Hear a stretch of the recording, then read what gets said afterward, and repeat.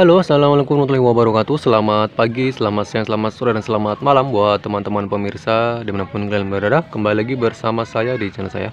Oke, di video kali ini di sini saya mau membuat tutorial bagaimana cara menservis karburator Jupiter MX New ya. Tetapi karburator ini sudah tidak menggunakan yang bawaan pabrik atau yang karbu vakum ya karena motor saya ini sudah saya pasang karbu PE28 Oke, bagaimana caranya saya menservisnya? Simak videonya, guys ya. Nah, langkah pertama di sini saya mau mencopot nih penutup karburatornya. Ya, terus bagian jok akinya, tempat akinya mau saya lepas agar lebih enak lagi untuk eh, apa namanya? pencabutan karburator dari intake-nya. Oke, mungkin videonya eh, akan saya skip karena berhubung memori HP saya sudah mulai penuh guys. Nah untuk penutup atas karburator sudah dibuka dan aki juga sudah saya buka. Jadi sudah bisa terlihat ya terpampang untuk karburatornya. Bisa teman-teman perhatikan di sini. Ini sudah menggunakan P28 ya.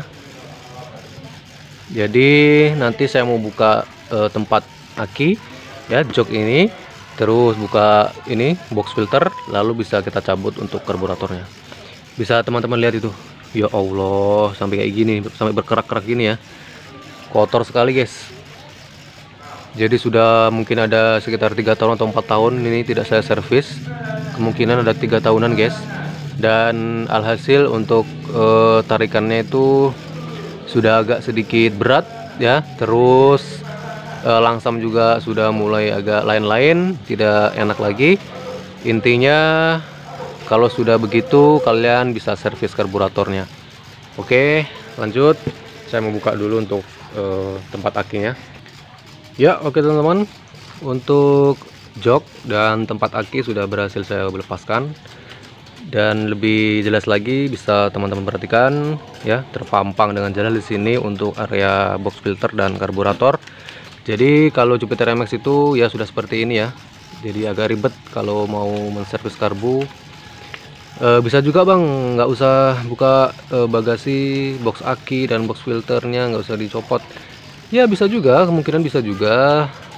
Tetapi saya males guys untuk ribet-ribetnya. Jadi alhasil ya sekalian lah saya buka biar lebih enak. Dan nantinya sekalian kita bersih-bersih di area yang sebelah sini ya. Jadi sudah kita bersihkan sekaligus lah. Oke next kita buka untuk box filternya lalu kita lepaskan karburator dari intake